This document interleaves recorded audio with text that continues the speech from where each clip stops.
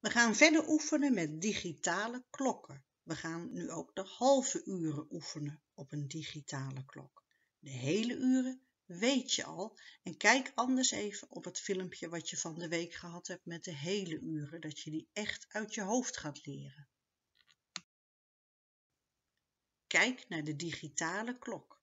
Je ziet dat het 2 uur is. Dan zie je de dubbele punt en daarachter staat 30. Het is 2 uur en 30 minuten. 30 minuten is precies een half uur. Het is 2 uur en er is een half uur voorbij. We gaan dan kijken. Na 2 uur gaan we naar 3 uur, maar dat is het nog niet. We zijn halverwege. Het is half 3.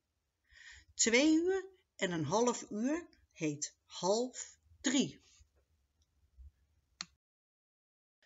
Weer een digitale klok. 22 dubbele punt 30. 22 hebben we geleerd.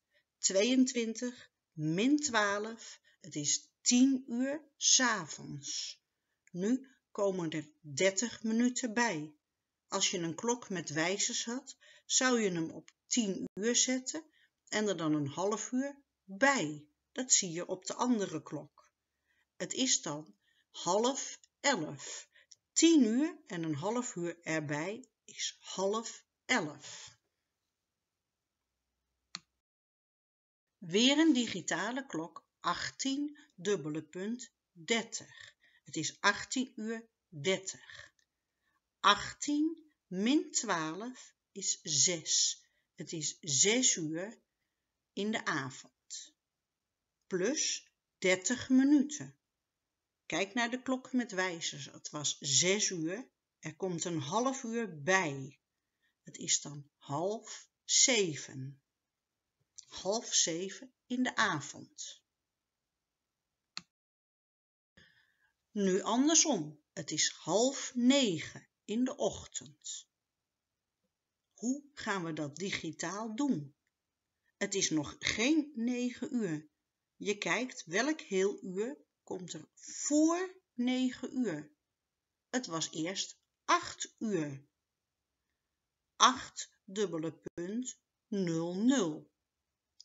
Maar er zijn dertig minuten bijgekomen. Het is nu acht uur en dertig minuten.